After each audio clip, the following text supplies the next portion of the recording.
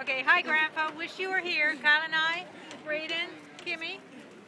See you when we get home.